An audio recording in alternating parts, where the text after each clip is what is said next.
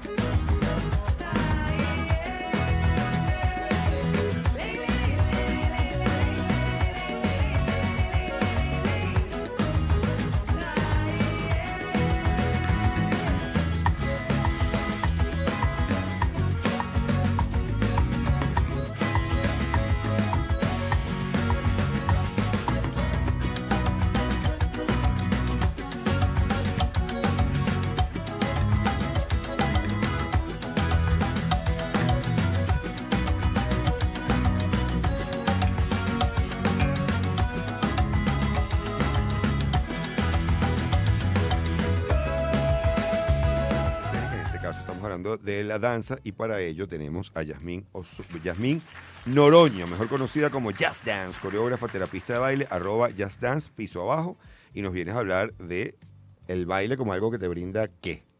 Profesor, primero es underskirt.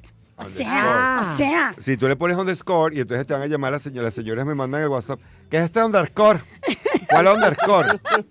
Esto es lo mismo que underwear, no es lo mismo que underwear, señora. Rayita Es abajo, Piso señora. abajo, piso abajo. era justamente lo que quería buscarle la lengua a este hombre tan increíble. Es que tienen que ver cómo llegó Jazz aquí al, al estudio. La emoción fue total. Y no te culpo, porque No, bueno, yo, profe. yo estoy es tratando. una figura. Yo no he querido desmentirle de que Es así. no soy la persona que ella cree que soy. Yo estoy primero que me había confundido con, con Romero. ella debe pensar que tú eres Kiara y yo soy Romero, pero ¿Será? no importa. Tú dices. Mira, y- y- pero háblanos de esto porque tú comienzas como terapeuta, tú comienzas como bailarina. Bueno, realmente no soy bailarina profesional, bailo empíricamente desde que tengo cinco años de edad, pero con los años me he dado cuenta de que cuando mantienes, te mantienes en una actividad física, pues tu cuerpo, digamos que, que ha- hace una memoria muscular distinta, te puedes recuperar, recuperar más rápido de las enfermedades, Mm, tienes un sistema inmune muchísimo más protegido, pero cuando haces ejercicios.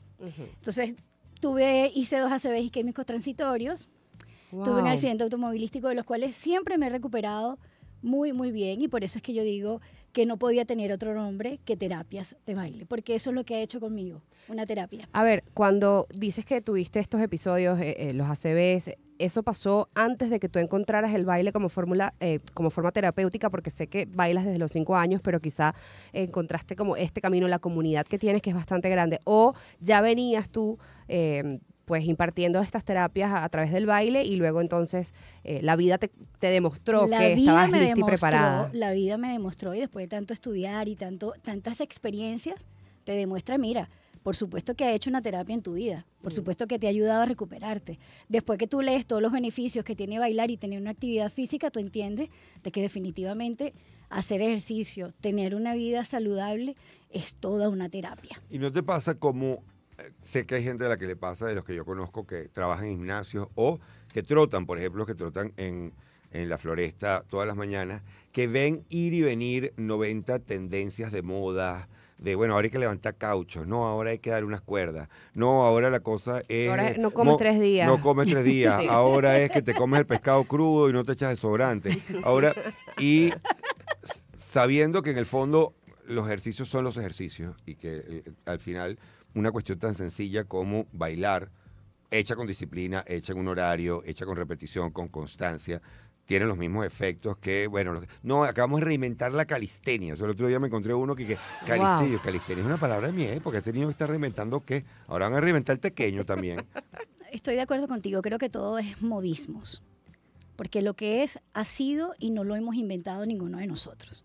O sea, nadie inventó bailar. De hecho, la- a- hay tribus que Claro. toda la vida han danzado, bien sea por, para- por la lluvia, por el sol, porque por la, la- la pubertad, etcétera, etcétera. O sea, siempre hemos bailado. A siempre ver. la danza ha existido. 100%. Pero eh, no es secreto para nadie quienes vayan ya a tu Instagram, arroba Jazz Dance, que además me gusta onomatopéyicamente, estamos ahí, eh, solo baila, ¿no? fonéticamente Fonéticamente, exacto, fonéticamente Just vamos ahí. Dance. Jazz Dance. Eh, ¿cómo, cómo, eh, ¿Cómo surgió esta comunidad? Porque hay mucha gente que te está apoyando y que no solamente son venezolanos. Háblanos un poquito de este proyecto. ¿Surgió de una manera orgánica o, o sí lo tenías en mente y fue como de- nace en- una visión? Nace durante la pandemia, Oh, porque yeah. tenemos que eh, yo estuve muy deprimida los primeros días, veníamos de un proyecto maravilloso en la ciudad, recuperando plazas, conectando con muchísima gente. De hecho, nuestra última actividad logramos tener más de 700 personas reunidas en una plaza, Plaza Villa Alianza en Puerto Ordaz.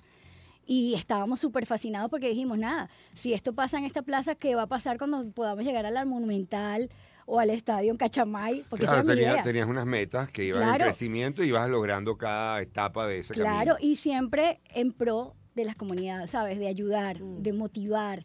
Porque hemos estado, todos estamos claros que hemos estado así como dormidos, ¿no? Como que, como tú dices, todos los modismos, CrossFit y tal y tal y todas esas cosas que en realidad si tú no haces, si tú no eres constante, no eres disciplinado y no te amas, nunca nada te va a funcionar. O sea, puedes hacer el invento número uno, el que, que apareció esta mañana, pero si no cumples con esta regla que yo le digo, la regla máxima, constancia, disciplina y amor propio, por favor, no, olvídenlo. Pero hay un, hay un factor también que hay que mencionar, que es el de la desinhibición. Es decir, la persona que está dispuesta a bailar frente a otros, que de repente siente, no soy el mejor bailarín del mundo, me puedo perder, aprende a reírse de sí mismo, aprende a no estarle parando a que los demás te juzguen. O sea, creo que lo que tú planteas con, est- con estos, estos bailes colectivos también tiene que ver con el- el relajarse, el relajarse y entregarse de cada quien lo va a hacer en la medida de lo que lo puede hacer y, y- y- el resto más bien te ayuda es a, ok, aquí hay, un, aquí hay un una ola sobre la que Claro. me puedo montar. Y dejar el ego, ¿no? Porque Bueno, te también voy a es un decir, ejercicio acabas ahí. de, de decir la palabra mágica, ego. Ahí la gente dice, pero ¿por qué tú bailas en tacones y nosotros no podemos ir en tacones? Así que yo lo hago porque simple y llanamente para mí es una celebración y la vida no, no merece menos, ¿sabes? Despertarte y, y saber que vas a, a- a saludar a tu familia, a los tuyos, a darle bendición a tus hijos, yo creo que ya eso es digno de celebración y a mí me gusta celebrarlo por todo lo alto. 100%. ¿Sabes? Tacones, plumas, pelo, eh, ¿cómo se llama? Lentejuelas, brillo. Creo que es así. Pero tú, yo te invito a celebrar la vida conmigo, pero para que celebres la tuya, como tú te sientas cómodo. Ahí no hay una marca que tú tienes que seguirme. No, ahí trabajamos, trabajamos ambos hemisferios, sí, porque es lógico. Dentro de una terapia tú tienes que trabajar con tu cuerpo, ¿sabes? Hemisferio derecho, hemisferio izquierdo, pero no hay unas coreografías que tú vayas a decir, ay, la clase me la perdí hoy. No, no, no, ahí tú vas a conectar contigo principalmente, que es lo que está diciendo el profesor.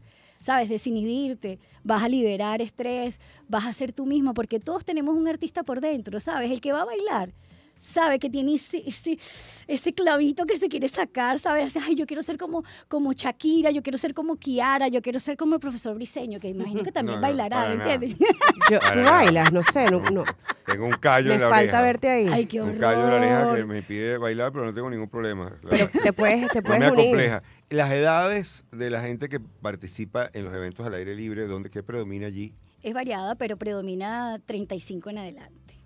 O sea, tengo alumnas de 70 y pico que no lo puedes creer lo bien que lo Bueno, hacen. si Yo se creo que si es se un tema- es culpa tuya. También. Yo creo que no solamente es un tema de salud, sino que al- lo, lo que hablábamos del ego, creo que a medida que uno va envejeciendo te va importando un poco menos lo que piensen de ti. Entonces, quizá por eso la gente que se anima es la gente que "Ah, ya no tengo nada que perder y no me importa que piensen o digan lo que sea. Y, y ya se, es, muy, así. que es muy loco, porque además el adolescente es uno de los que está más preocupados por qué van a decir de mí. qué tal. Y tú dices, pero si tú todavía no has construido una reputación. O sea, yo te entiendo que tú llegas a los 35 años con una reputación perfecta en todos los ámbitos de tu vida, trabajo, etcétera, y tú estés preocupado, que, que van a pensar de mí. Pero a los a 14, ¿tú qué crees? Que tú eres eres quién. Sí. Claro. Justin Bieber, así, que te van a estar. Pero eh, eh, es interesante que tú nombras de setenta y pico de años y en, en Portugal, por ejemplo, que se practica muchísima medicina preventiva, es el énfasis que coloca la nación y por eso no tienen que atender tantas enfermedades como se atienden en otros lugares del mundo.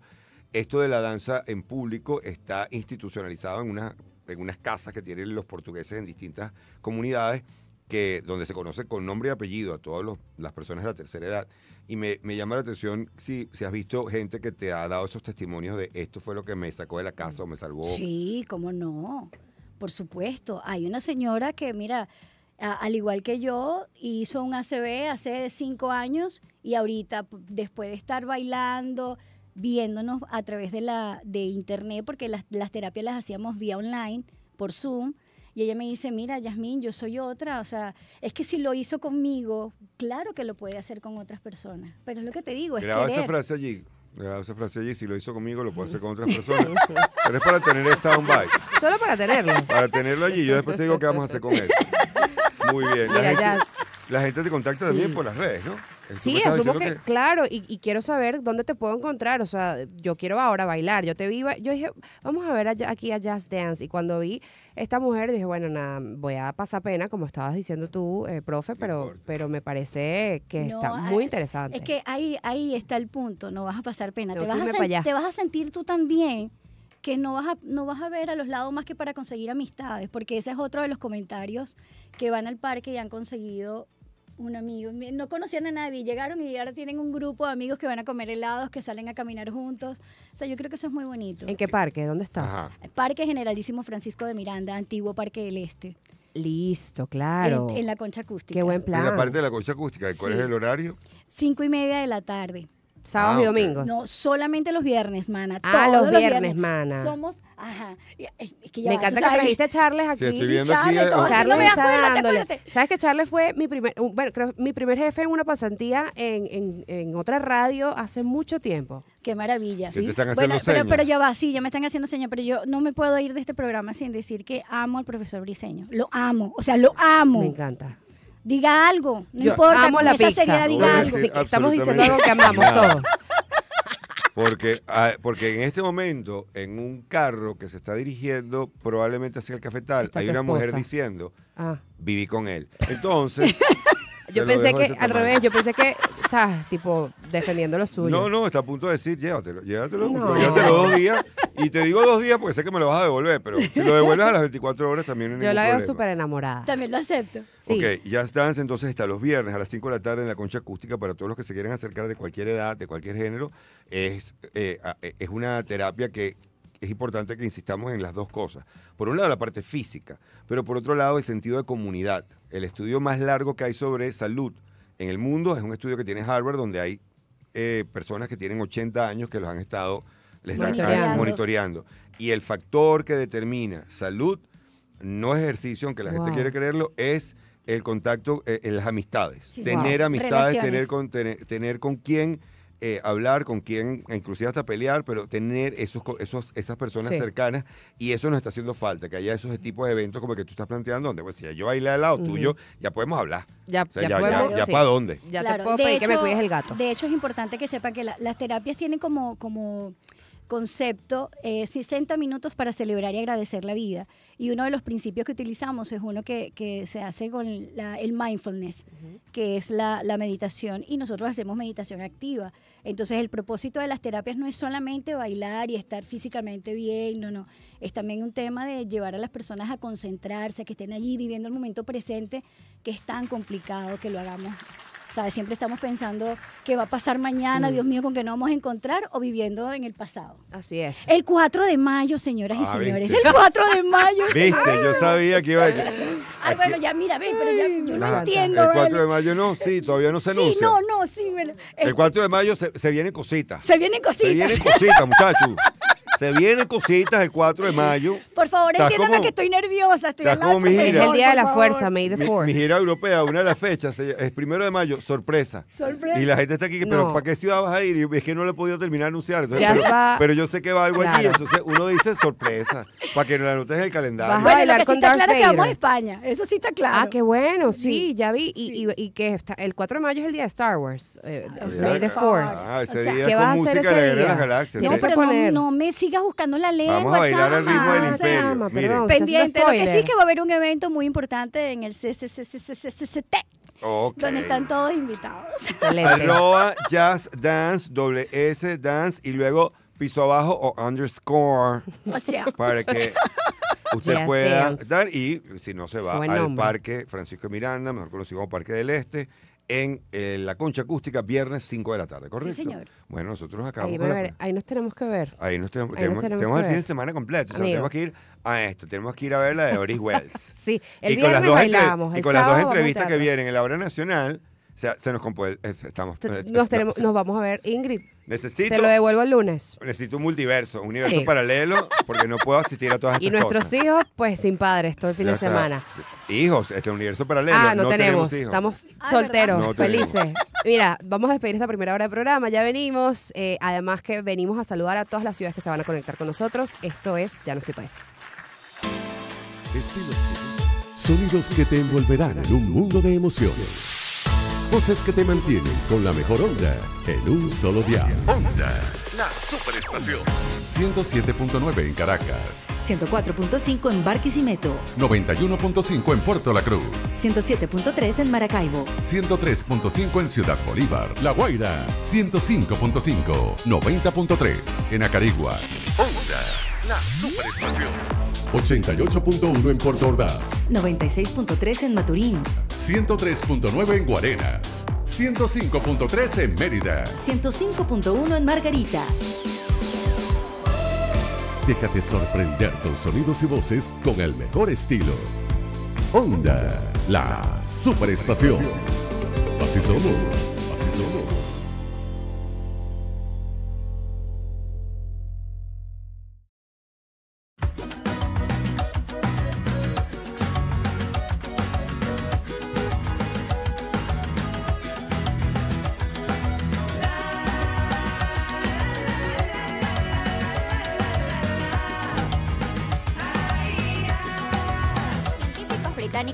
El primer análisis de sangre del mundo que podría detectar cáncer en el cerebro sin cirugías invasivas y riesgosas. Aquí te contamos los prometedores detalles. La prueba es llamada biopsia líquida por sus creadores y ayudará especialmente a pacientes con tumores ubicados en zonas muy profundas del cerebro. Esta puede detectar células tumorales circulantes en la sangre que pueden analizarse con el mismo detalle celular que una muestra de tejido real. El grupo resalta que el análisis de sangre tiene entre sus ventajas que es de bajo costo y que gracias a esto se podrían acelerar los procesos de diagnóstico de la enfermedad. De esta forma los pacientes podrían comenzar sus tratamientos lo antes posible y aumentar sus tasas de supervivencia. La Asociación de Alimentos y Medicamentos de Estados Unidos calificó la investigación como una terapia innovadora y esta designación se otorga después de una evaluación rigurosa que demuestra el potencial del producto. Ahora los responsables realizarán ensayos más amplios y si estos son exitosos, esta nueva prueba de sangre podría estar disponible en los centros de salud dentro de dos años.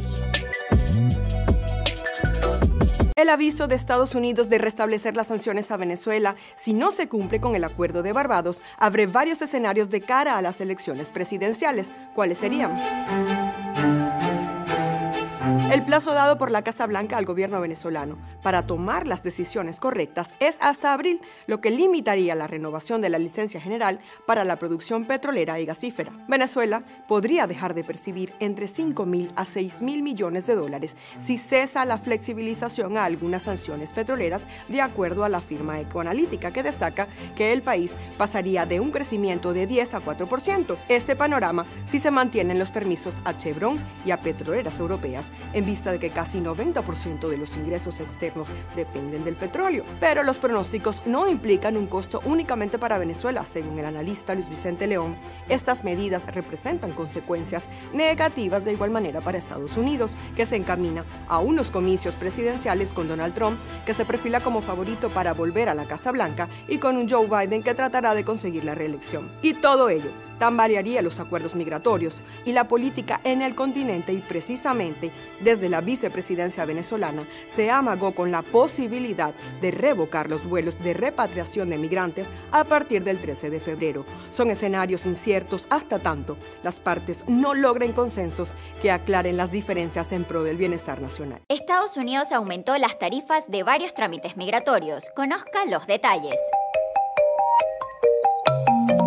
El Servicio de Ciudadanía e Inmigración de Estados Unidos anunció los incrementos que entrarán en vigencia a partir del 1 de abril de 2024 y que afectan principalmente a los trámites para visas de empleo y permisos de trabajo. En el caso de la visa H1B para trabajadores especializados, el precio aumentó de 10 a 215 dólares. El trámite de residencia permanente tendrá ahora un costo de 1.440 dólares, el de permisos de trabajo costará 520 dólares y la solicitud de naturalización subirá a 760 dólares. Este es el primer incremento en los costos desde hace más de siete años y la agencia mantuvo exenciones y descuentos para solicitantes como víctimas de trata de personas, violencia doméstica y miembros del servicio militar estadounidense. Se espera que el aumento de las tarifas permita procesar de forma más oportuna las solicitudes, ya que las ganancias permitirían recuperar el costo total de las operaciones, la contratación de nuevo personal, asegurar el aumento obligatorio de salarios y expandir los programas humanitarios. Responsable de diversos asesinatos para defender su territorio y madre de cuatro hijos. Una mujer que, según dicen, era despiadada y hasta el mismo Pablo Escobar le temía. Su nombre, Griselda Blanco, y salió a relucir luego del estreno de una serie de Netflix protagonizada por la colombiana Sofía Vergara. Pero, ¿qué es verdad y qué es ficción en esta historia? Advertimos, hay algunos spoilers. De acuerdo con la cadena BBC, en la serie Griselda tiene dos maridos, pero en la realidad tuvo tres. Todos están muertos. En la ficción, la protagonista mata a uno de ellos y de esto no hay indicios. Según el periodista colombiano José Guarnizo, quien lleva 12 años investigando la historia de Griselda Blanco, la madrina no se entregó a las autoridades como estrategia para huir de sus enemigos. No es fácil comprobar si Pablo Escobar llegó a temer de la viuda negra, pero sí se sabe que se conocieron y fueron enemigos, tensión que terminó sacando a Griselda de Colombia hasta Miami. Su declive llegó cuando termina en la cárcel donde estuvo 19 años presa y no 7 o 13 como se apunta en la serie. Ahora, ¿por qué gustan tanto las narconovelas? El Señor de los Cielos, El Patrón del Mal y ahora Griselda son producciones que tienen algo en común, narcotráfico. Omar Rincón, conocido crítico de televisión, asegura que las narcotelenovelas se miran porque representan una posibilidad catártica para el televidente de entrar a ese mundo extraño del narco, para escandalizarse, pero también para reconocerse. Por su parte, el experto en medios Germán Rey dice que las narconovelas están correlacionadas con el contexto de un país y lamenta que los modos de vida impulsados por la mafia hayan llegado a la televisión. Científicos británicos desarrollaron el primer análisis de sangre del mundo que podría detectar cáncer en el cerebro sin cirugías invasivas y riesgosas. Aquí te contamos los prometedores detalles.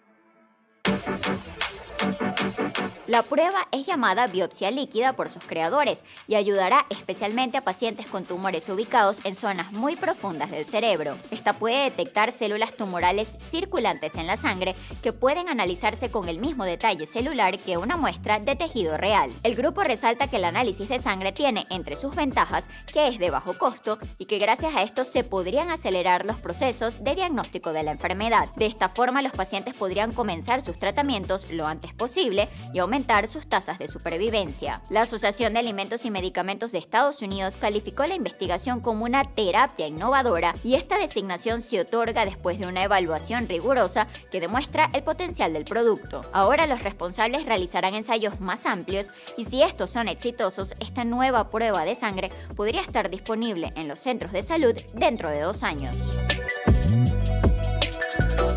El aviso de Estados Unidos de restablecer las sanciones a Venezuela si no se cumple con el acuerdo de Barbados abre varios escenarios de cara a las elecciones presidenciales. ¿Cuáles serían?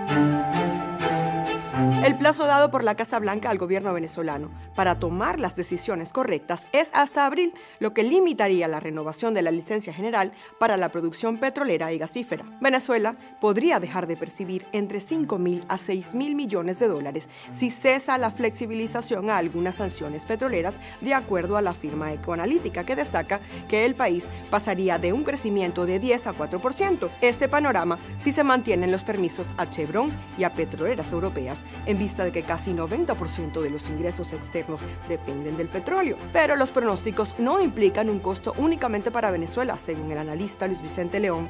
Estas medidas representan consecuencias negativas de igual manera para Estados Unidos, que se encamina a unos comicios presidenciales con Donald Trump, que se perfila como favorito para volver a la Casa Blanca, y con un Joe Biden que tratará de conseguir la reelección. Y todo ello tambalearía los acuerdos migratorios y la política en el continente y precisamente desde la vicepresidencia venezolana se amagó con la posibilidad de revocar los vuelos de repatriación de migrantes a partir del 13 de febrero. Son escenarios inciertos hasta tanto las partes no logren consensos que aclaren las diferencias en pro del bienestar nacional. Estados Unidos aumentó las tarifas de varios trámites migratorios. Conozca los detalles. El Servicio de Ciudadanía e Inmigración de Estados Unidos anunció los incrementos que entrarán en vigencia a partir del 1 de abril de 2024 y que afectan principalmente a los trámites para visas de empleo y permisos de trabajo. En el caso de la visa H1B para trabajadores especializados, el precio aumentó de 10 a 215 dólares. El trámite de residencia permanente tendrá ahora un costo de 1.440 dólares, el de permisos de trabajo costará 520 dólares y la solicitud de naturalización subirá a 760 dólares. Este es el primer incremento en los costos desde hace más de siete años y la agencia mantuvo exenciones y descuentos para solicitantes como víctimas de trata de personas, violencia doméstica y miembros del servicio militar estadounidense. Se espera que el aumento de las tarifas permita procesar de forma más oportuna las solicitudes, ya que las ganancias permitirían recuperar el costo total de las operaciones, la contratación de nuevo personal, asegurar el aumento obligatorio de salarios y expandir los programas humanitarios. Responsable de diversos asesinatos para defender su territorio y madre de cuatro hijos. Una mujer que, según dicen, era despiadada y hasta el mismo Pablo Escobar le temía. Su nombre, Griselda Blanco, y salió a relucir luego del estreno de una serie de Netflix protagonizada por la colombiana Sofía Vergara. Pero, ¿qué es verdad y qué es ficción en esta historia? Advertimos, hay algunos spoilers. De acuerdo con la cadena BBC, en la serie Griselda tiene dos maridos, pero en la realidad tuvo tres. Todos están muertos. En la ficción, la protagonista mata a uno de ellos y de esto no hay indicios. Según el periodista colombiano José Guarnizo, quien lleva 12 años investigando la historia de Griselda Blanco, la madrina no se entregó a las autoridades como estrategia para huir de sus enemigos. No es fácil comprobar si Pablo Escobar llegó a temer de la viuda negra, pero sí se sabe que se conocieron y fueron enemigos, tensión que terminó sacando a Griselda de Colombia hasta Miami. Su declive llegó cuando termina en la cárcel donde estuvo 19 años presa y no 7 o 13 como se apunta en la serie. Ahora, ¿por qué gustan tanto las narconovelas? El Señor de los Cielos, El Patrón del Mal y ahora Griselda son producciones que tienen algo en común, narcotráfico. Omar Rincón, conocido crítico de televisión, asegura que las narcotelenovelas se miran porque representan una posibilidad catártica para el televidente de entrar a ese mundo extraño del narco, para escandalizarse, pero también para reconocerse. Por su parte, el experto en medios Germán Rey dice que las narconovelas están correlacionadas con el contexto de un país y lamenta que los modos de vida impulsados por la mafia hayan llegado a la televisión. Científicos británicos desarrollaron el primer análisis de sangre del mundo que podría detectar cáncer en el cerebro sin cirugías invasivas y riesgosas. Aquí te contamos los prometedores detalles.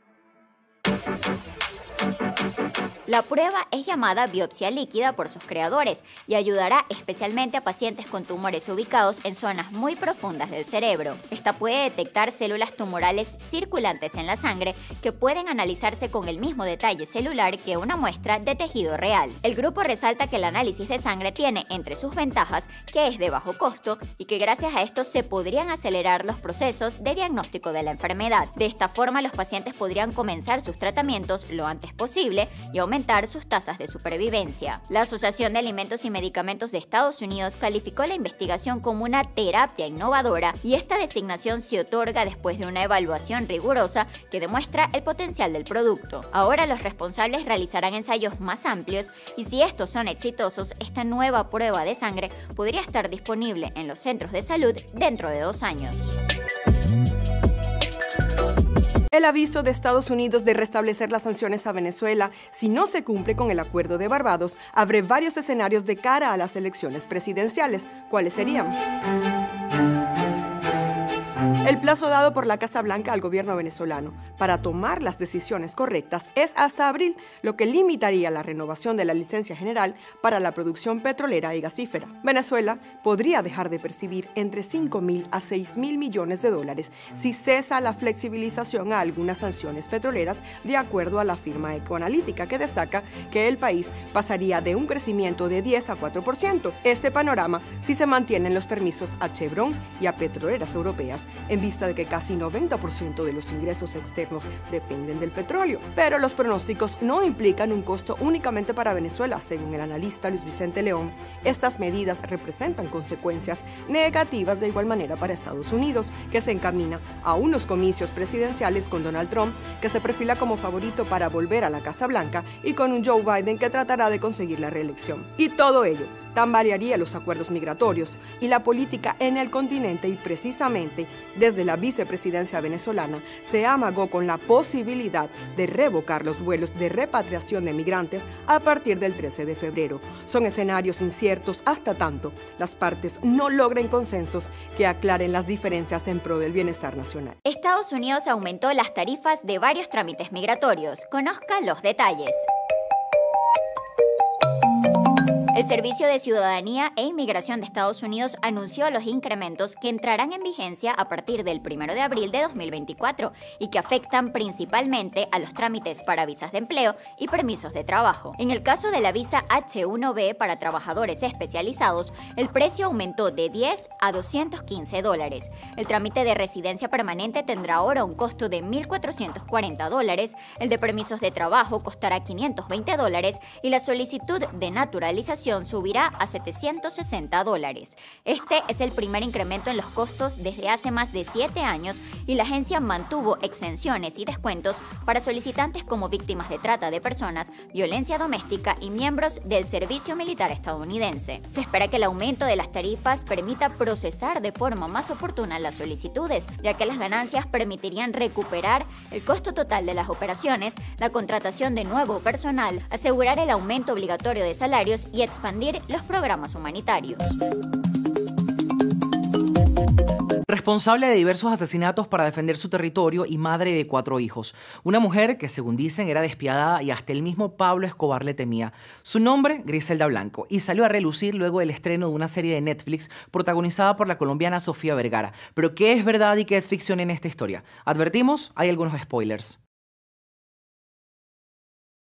De acuerdo con la cadena BBC, en la serie Griselda tiene dos maridos, pero en la realidad tuvo tres. Todos están muertos. En la ficción, la protagonista mata a uno de ellos y de esto no hay indicios. Según el periodista colombiano José Guarnizo, quien lleva 12 años investigando la historia de Griselda Blanco, la madrina no se entregó a las autoridades como estrategia para huir de sus enemigos. No es fácil comprobar si Pablo Escobar llegó a temer de la viuda negra, pero sí se sabe que se conocieron y fueron enemigos, tensión que terminó sacando a Griselda de Colombia hasta Miami. Su declive llegó cuando termina en la cárcel cárcel donde estuvo 19 años presa y no 7 o 13 como se apunta en la serie. Ahora, ¿por qué gustan tanto las narconovelas? El Señor de los Cielos, El Patrón del Mal y ahora Griselda son producciones que tienen algo en común, narcotráfico. Omar Rincón, conocido crítico de televisión, asegura que las narcotelenovelas se miran porque representan una posibilidad catártica para el televidente de entrar a ese mundo extraño del narco, para escandalizarse, pero también para reconocerse. Por su parte, el experto en medios Germán Rey dice que las narconovelas están correlacionadas con el contexto de un país y lamenta que los modos de vida impulsados por la mafia hayan llegado a la televisión. Científicos británicos desarrollaron el primer análisis de sangre del mundo que podría detectar cáncer en el cerebro sin cirugías invasivas y riesgosas. Aquí te contamos los prometedores detalles. La prueba es llamada biopsia líquida por sus creadores y ayudará especialmente a pacientes con tumores ubicados en zonas muy profundas del cerebro. Esta puede detectar células tumorales circulantes en la sangre que pueden analizarse con el mismo detalle celular que una muestra de tejido real. El grupo resalta que el análisis de sangre tiene entre sus ventajas que es de bajo costo y que gracias a esto se podrían acelerar los procesos de diagnóstico de la enfermedad. De esta forma los pacientes podrían comenzar sus tratamientos lo antes posible y aumentar sus tasas de supervivencia. La Asociación de Alimentos... lanzamiento, como quieran llamar, del sarao que tienen ustedes.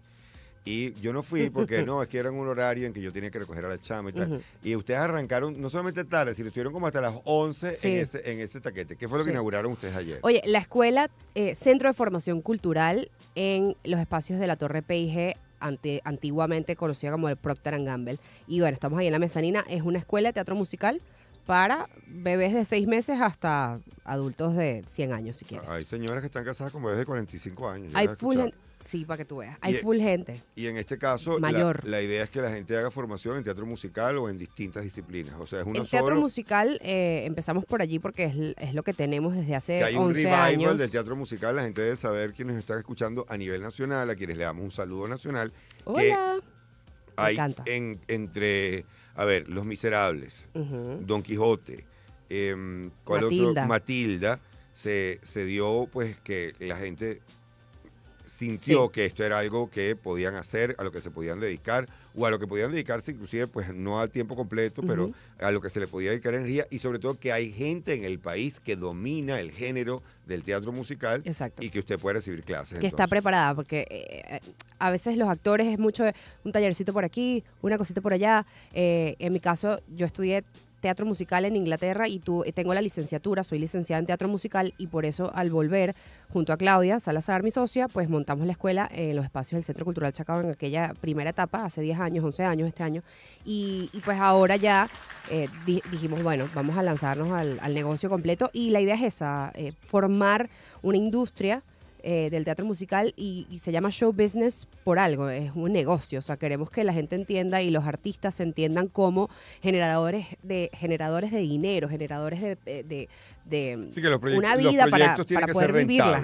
Exacto. Porque aquí tenemos la, mala costumbre de entender el teatro como que eso es una vocación. Sí hay un misticismo, una mística. o esos hippies. Trabajan es que trabajas con tanta mística, trabajas con tanta mística es que no estás comiendo. Eso es lo que significa trabajar con mucha mística. Y no, hay, no tiene por qué ser así, no tiene por qué ser así. Y obviamente la idea es dar la estructura que permita que la gente pueda formarse y por supuesto tener eh, acceso pues a, trabajos que, que sean remunerados de la manera en que deberían ser, ¿no? Y el otro aspecto que es para los chamos el tema de los chamos que se suelten en tarima, que entiendan de música, que entiendan de espacio, que entiendan de lenguaje no verbal, que cuando llegan eh, adultos, mire que le tiene que dar un taller de oratoria al niño porque él habla con las manos atrás y mire, usted, pues, usted le había haber metido en su academia desde pequeño.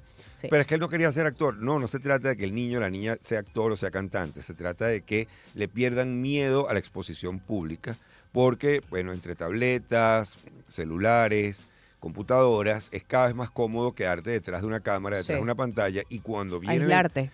claro, y cuando viene el enfrentamiento al, a la, al mundo a la interacción personal, persona a persona, que el otro no solamente reacciona, sino que reacciona inmediatamente y está a un tiro de distancia de ti, en el sentido de que puedes interpelarte, entran en un pánico absoluto. Y yo creo que es muy importante lo que ustedes están ofreciendo. Pero bueno, lo que hace es que Ingrid llegó como a las once y media que todo el mundo preguntó por ti. Y yo que ah, no, bueno, vale, yo no estoy para esto. Bueno, pero yo sí, yo tampoco estoy para usar tacones un miércoles, pero aquí estoy con, en cholas hoy, por eso me cayó la lata. Bueno, ¿no viste a Just Dance? Porque ayer estuve en tacones hasta las, Just Dance estuvo hablando de no sé cuántas cosas y cuando vimos de que hace ejercicio y tal, y esta chama estaba puesta en unos tacones. Pero insólitas, unas botas, además como azul rey, eh, neón. Una bota de cantante llanera. Una, pero una bota de cantar, usted me mintió. Y una cosa, y yo quedé loco. llanera en los ochentas, como que una llanera psicodélica. Una llanera psicodélica. Eh, eh, fue así, jazz, llanera, jazznera psicodélica. Ah, mira, esto es perfecto para lo que acabamos de hablar, mira.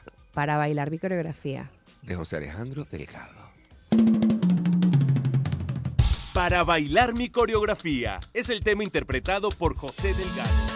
Sonidos que te envolverán en un mundo de emociones. Voces que te mantienen con la mejor onda en un solo día. Onda, la superestación. 107.9 en Caracas, 104.5 en Barquisimeto, 91.5 en Puerto La Cruz, 107.3 en Maracaibo, 103.5 en Ciudad Bolívar, La Guaira, 105.5, 90.3 en Acarigua. Onda, la superestación. 88.1 en Puerto Ordaz, 96.3 en Maturín, 103.9 en Guarenas, 105.3 en Mérida. 105.1 en Margarita. Déjate sorprender con sonidos y voces con el mejor estilo. Onda, la superestación. Así somos, así somos.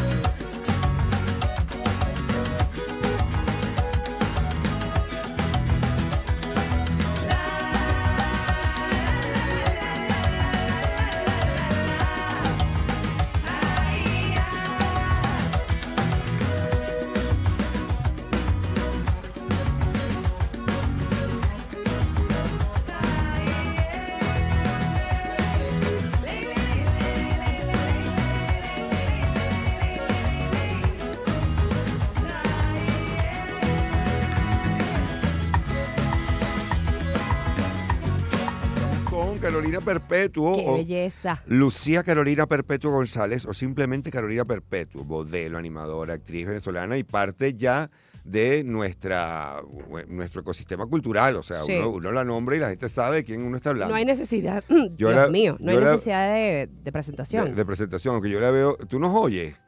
Ahora sí. Ahora sí te vi. Oye, qué buena actriz eres. O sea, te- tú, no, tú no estabas diciendo nada, pero tu cara era de, no, esta no ha logrado activar el sonido, algo está ocurriendo, algo está ocurriendo. Tu cara reveló 90 emociones distintas en los segundos de lo que yo estaba hablando. ¿Cómo se nota tu experiencia en la pantalla, Carolina?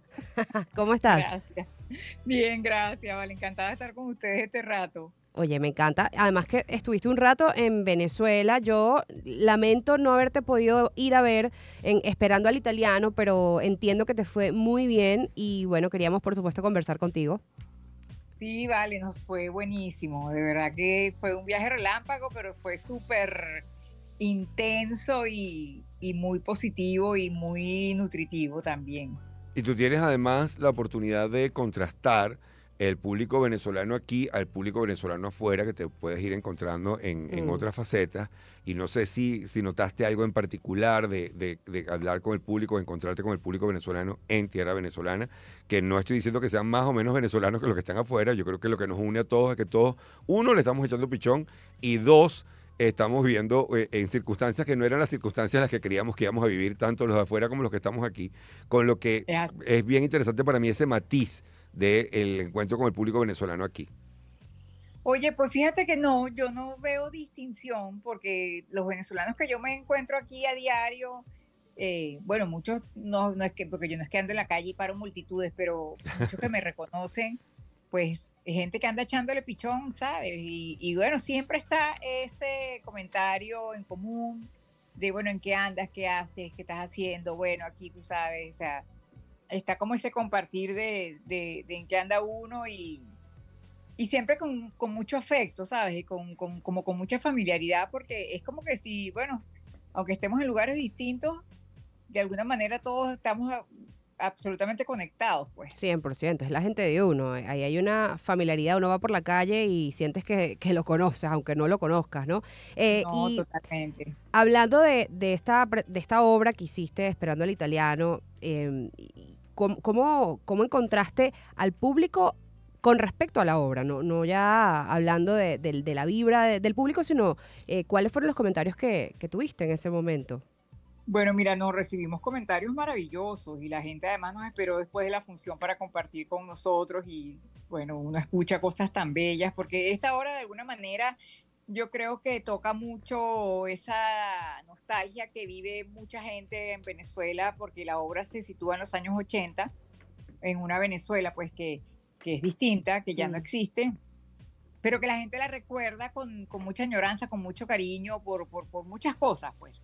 Entonces, bueno, la obra tiene esa ese cóctel que además es muy atractivo entre el drama y la comedia.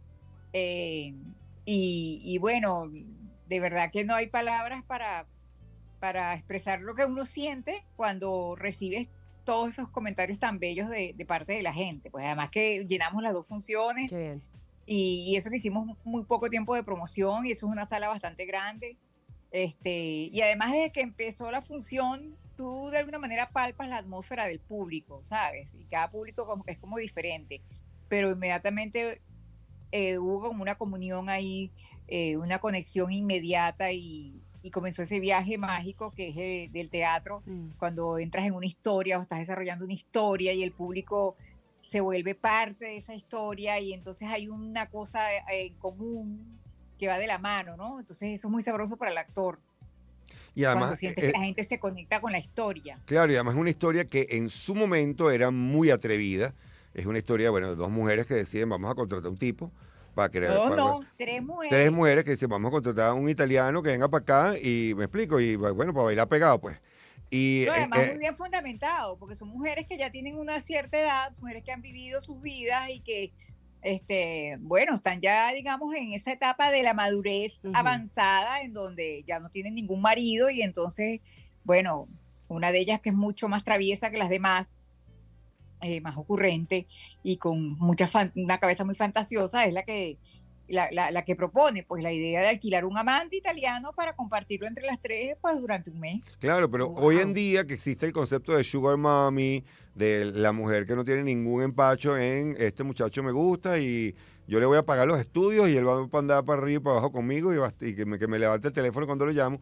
Eh, hoy en día eso se, se- se habla, se sabe que existe esa figura, pero en aquel momento en el que se ha- escribe la obra y por primera vez se estrena, no. Entonces yo creo que eso también es muy simpático, el hecho de que el público ahora tiene una postura un poco más abierta con respecto a muchas cosas y entonces cuando miran hacia atrás, por un lado está la nostalgia, pero por otro lado está el ver, oye, la verdad es que nosotros en una época esto era una cosa atrevidísima y hoy en día, pues mira, la, la mujer o el hombre que quiera, Bueno, pero yo creo que es un poco distinto, porque es distinto ser una mujer madura y que de repente tengas un affair con un tipo un rato, un tipo, y no esa, yo, a mí eso de sugar daddy, mami daddy no me gusta, eso conmigo no va, Ay, conmigo tampoco.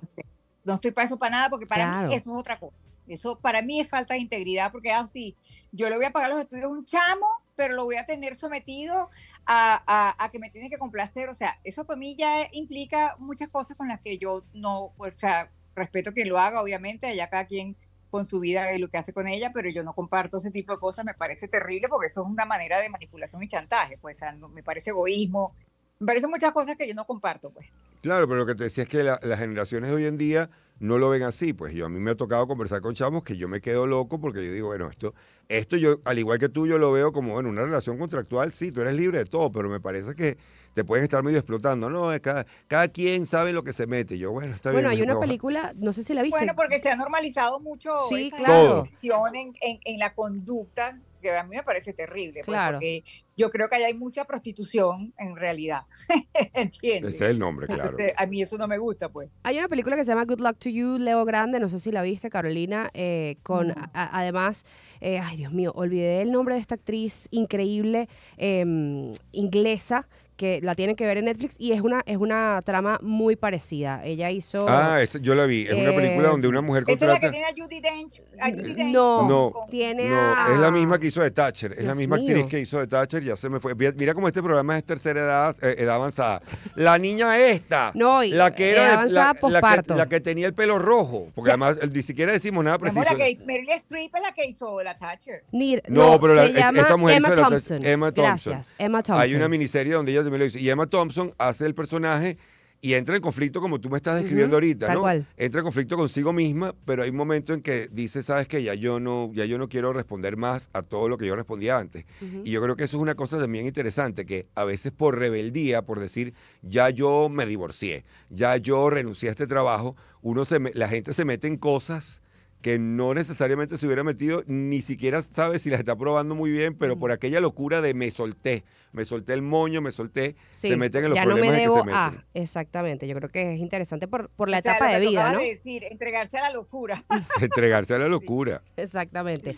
Mira, Claro, eso es muy válido en el ser humano, lamentablemente, porque después vienen las consecuencias de los vidrios rotos y los ayayay, ¿no? Claro, hay que, hay que pensársela bien. Eh, eh, Carolina, bueno, obviamente estuviste por acá. ¿En qué andas ahora? ¿Qué, ¿Qué planes y cómo pinta este 2024 para ti? Bueno, ya tenemos el primer trimestre casi listo, pero seguramente tienes allí el mood board preparado. Bueno, no, yo no soy mucho de hacer eso. Yo no soy muy amiga de la planificación ni nada de eso porque yo prefiero que la vida me sorprenda. Este, me estoy preparando para hacer un casting por ahí, pero sinceramente yo nunca me hago muchas expectativas ni ilusiones porque creo que es lo más saludable, pues. Aunque tú le pongas todo tu, tu Mm. energía a la hora de hacerlo, obviamente, pero bueno, yo siempre digo que si me conviene, pues que, que, que se ocurre. Y si no conviene, también es bueno entonces Y que también que afecta, afecta el casting el hecho de que la persona vaya con demasiadas ganas de quedar con el papel. ¿No, no sientes tú? A mí cuando me ha tocado ser jurado de casting, que me piden, mira, acompáñanos a hacer el casting de este papel, este papel, uno sabe cuando entra alguien que le está dando tanta importancia a lo que está haciendo, que uno no sabe si eso es lo que él va a hacer cuando él haga la película o haga la obra de teatro, uno, y dos, uno siente que si uno le dice que sí o que no, de todas maneras estás cambiando la vida y nadie quiere cargar con esa responsabilidad. Sí, yo, yo, o sea, a mí no me, no me parece que es sano, o sea, creo que es bastante desgastante o que puede ser muy frustrante. Y Sí. con demasiadas ganas de que esto es para mí, esto es lo que quiero, y lo tengo que lograr y tengo que ta, ta, ta, porque si no se da, entonces, sabes, viene el guayabo. Sí, la decepción, el golpe. e- Exacto. Sea, Yo Emocional. creo que hay que estar como que abierto a que, bueno, que si eso es para ti, pues será. Y si, y si, como te dije, no es para ti, es porque no te convenía, Bueno, pues. eh, si, eh, si, si va a ser para ti, ni que te quites, dicen por ahí. Y si no es para ti, ni que te pongas. Así que bueno, sabemos que eh, seguramente te lle- llegará lo que va a ser para ti, Carolina. Gracias por darnos estos minutos. Nos encanta verte, además, con esa sonrisota. Ojalá que la gente No, eh, que nos pueda ver en-. YouTube, pues Está, este, además esté tiene ahí un set conectados. una cama que se ve espectacular o de unos cojines. Ay, sí. Tiene como Está 90 comodísima, Carolina. Porque estoy aquí justamente escribiendo. Ah, no, güey, yo también quiero escribir Y así. me gusta escribir como terapia. Ah, Me qué bien. encanta. Estás journaling, Muy lo que bien. llaman ahí. Lo que te viene siendo Lo el que, te viene, journaling. lo que te llaman el journaling. Te mandamos un abrazo, Caro. Gracias. Un beso. Mua. Saludos desde, Chao. desde Venezuela. Carolina Perpetua, actriz. Bueno, creo que sí. no Actriz, animadora, presencia en los medios venezolanos y nosotros vamos con Bling Bling de Maluma. Sonidos que te